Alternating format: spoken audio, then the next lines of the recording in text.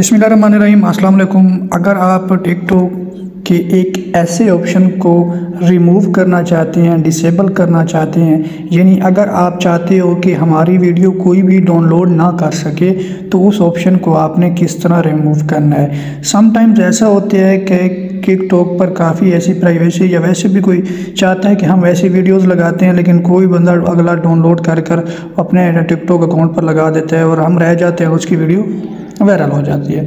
तो ये आप कैसे कर सकते हो? देखिए, आप अपने टिकटॉक को ओपन कर लोगे, सिंपल सा तरीका है, अपनी प्रोफ़ाइल वाले ऑप्शन पे आ जाओगे नीचे। जैसे प्रोफ़ाइल वाले ऑप्शन पे आओगे, ऊपर एक थ्री डॉट है, इन पे आपने क्लिक कर देना है।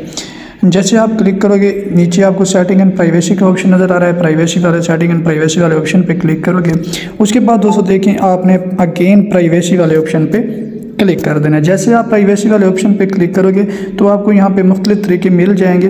तो यहाँ पे आपको एक डाउनलोड का ऑप्शन नज़र आ रहा है। यहाँ पे सिंपल आपने क्लिक कर देना है। जैसे यहाँ पे आप क्लिक करोगे, ऊपर ये आपको वीडियो डाउनलोड का ऑप्शन इनेबल नज़र आ रहा है। तो यहाँ पर आपने क्लिक करना है। आपकी वीडियो डिसेबल यानी कोई भी डाउनलोड नहीं कर सकता।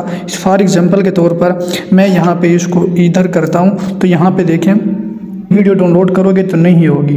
क्योंकि मेरी अपनी वीडियो है, मैंने डिसेबल किया है कि कोई मेरी वीडियो जो देखने वाला है वो ना कर सके।